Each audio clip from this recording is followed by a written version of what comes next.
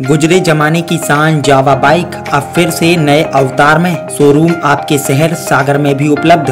तो आज ही लीजिए नई जावा बाइक, पता जावा शोरूम बरसा इंडस्ट्रीज़ के बाजू में भगवानगंज सागर।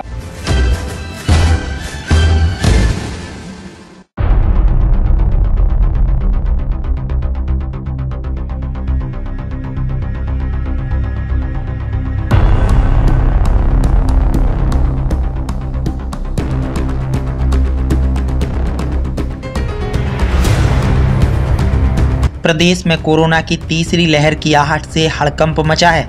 वहीं प्रदेश के सागर में भी अब लगातार कोरोना पॉजिटिव मरीजों के आंकड़ों में इजाफा हो रहा है। ज़िले में लगातार दिन ब दिन कोरोना मरीजों की संख्या बढ़ती जा रही है। आलम यह है कि कोरोना की तीसरी लहर अब युवाओं पर अटैक कर रही है। बीते 48 घंटे में दो युवाओं की मौत से प्रशासन में हड़कंप मचा है।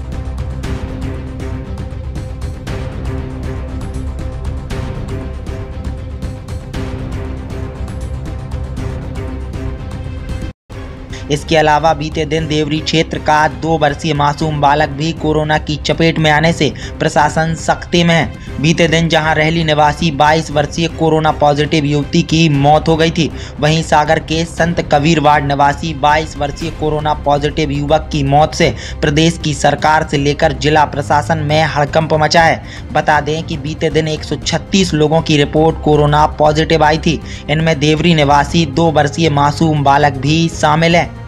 इसके अलावा शहरी क्षेत्र में सबसे ज़्यादा मकरोनिया क्षेत्र के 24 कोरोना पॉजिटिव मरीज़ मिले हैं। साथ ही कोरोना का हॉट स्पॉट बन चुके बीएमसी कैंपस में भी 19 लोगों की रिपोर्ट कोरोना पॉजिटिव आई है, जबकि यूटीडी में तीन से अधिक और कैंट क्षेत्र में करीब तेरह संक्रमित पाए गए हैं। फ़िलहाल सागर में कोरोना लगातार अपने तेज़ी से पैर पसार रहा है। सावधान रहें, सतर्क रहें।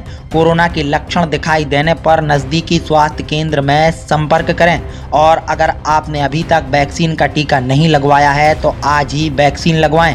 साथ ही सड़कों पर निकलने से पहले फेस मास्क का उपयोग अवश्य करें, क्योंकि अब यही उपाय आपकी जीवन में आने वाले खतरे को बचा सकता है।